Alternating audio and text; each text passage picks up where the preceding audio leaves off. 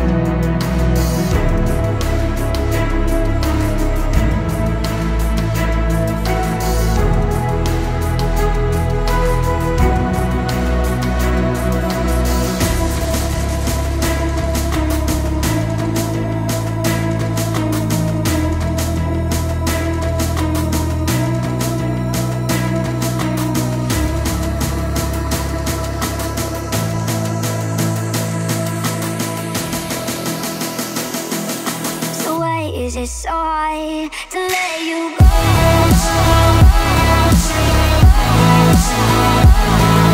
you go?